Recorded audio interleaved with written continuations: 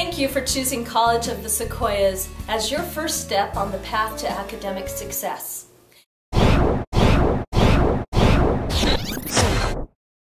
In this video, we will cover some important information that will assist you in avoiding mistakes that new students sometimes make when they get to college. It's important that you start your academic success on the right foot, and we're here every step of the way to help you.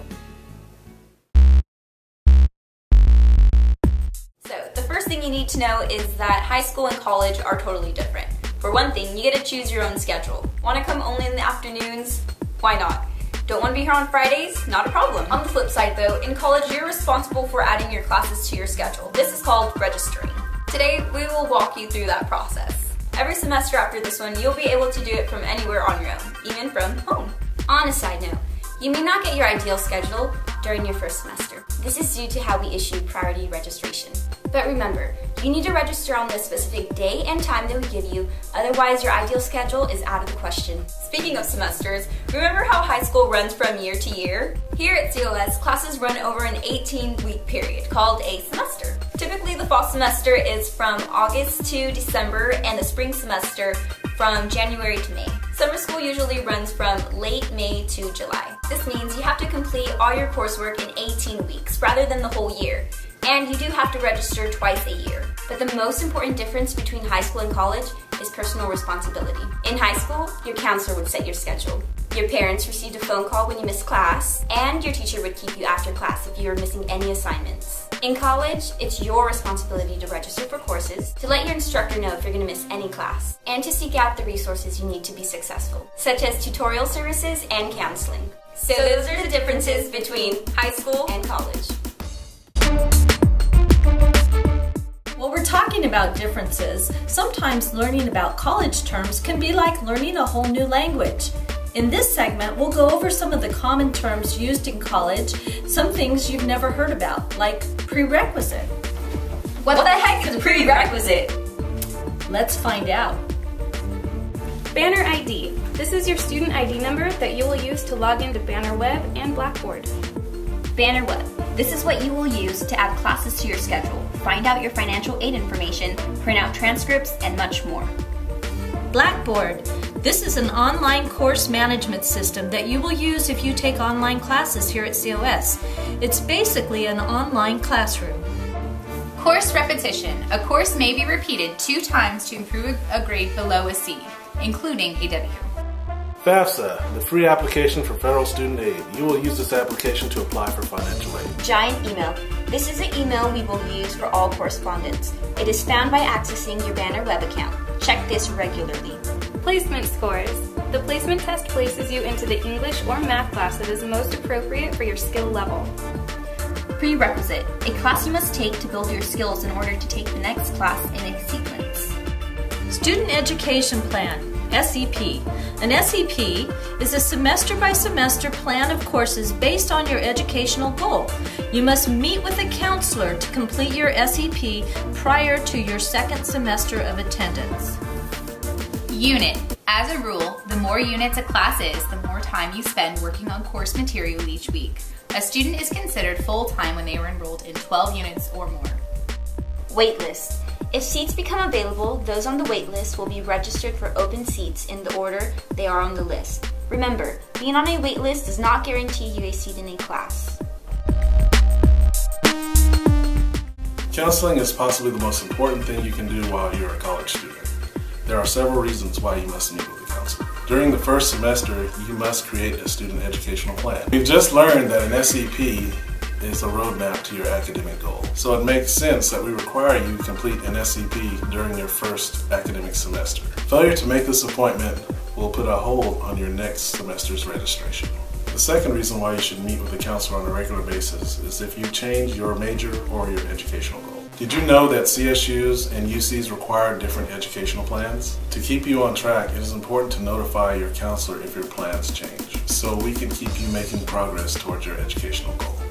The third time it's important to meet with a counselor is when you plan to transfer or when it's time to graduate. Imagine getting ready to graduate and realizing that you can't because you didn't fill out a graduation application with your counselor. Basically, it's important to meet with your counselor on a regular basis to keep you on track and successful.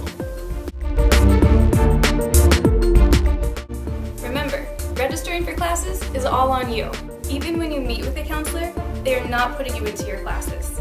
And with that, here's a quick tutorial on the registration process. When registering for classes, the first thing you'll need to do is open up a new web page and go to www.cos.edu. If you haven't checked the class schedule yet, you can do that by clicking the magnifying glass that says Class Search. First, check which term you want to search for, then click Select Term. You may search for all COS classes by simply clicking the search button at the bottom right of the screen. You may also narrow your search down by using our various filters. You may select a certain subject or course number. For example, if you're looking for English 251, you'd select the subject of English and then type in the course number of 251.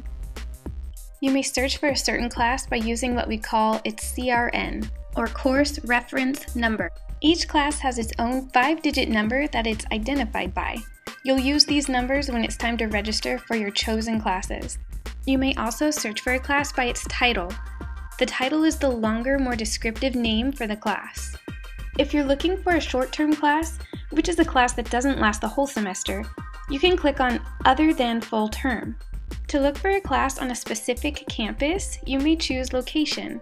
Remember that we have three different campuses in our district, Visalia, Tulare, and Hanford. Distance education includes online classes and hybrid classes.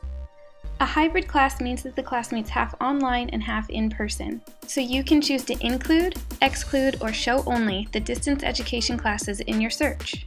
If you have a favorite instructor, you may choose to search by the instructor.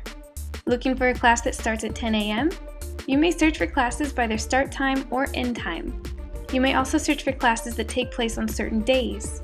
Lastly, you may search by open classes only. This will only show you the classes that are not full yet. Be careful when choosing your search criteria. If you choose too many options, the search may not work correctly. If you find that it's not working the way you want it to, just click on the reset button and start over. The class schedule is in alphabetical order.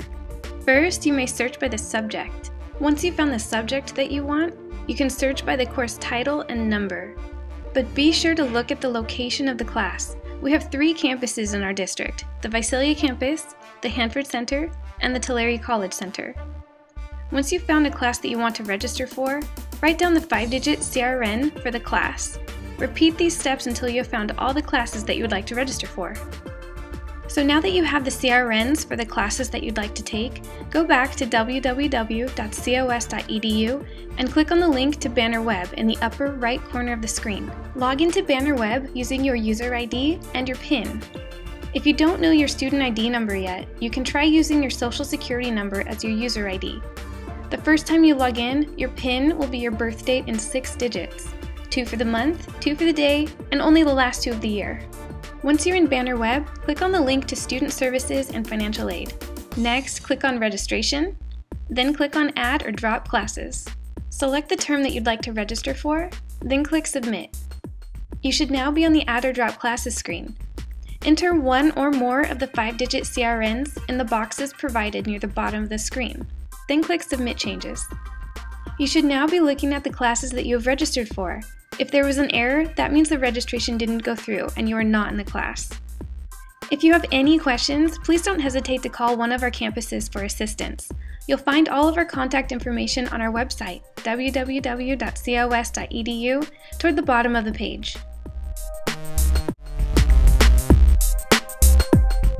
We can't stress enough how important it is to remember that while it is awesome to be able to decide your own schedule and enjoy all the other freedoms that come along with college, you must take proactive steps to be successful.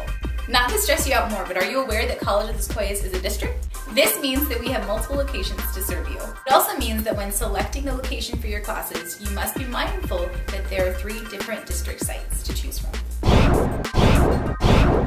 It also means that you must be mindful when selecting classes to choose the appropriate campus for you.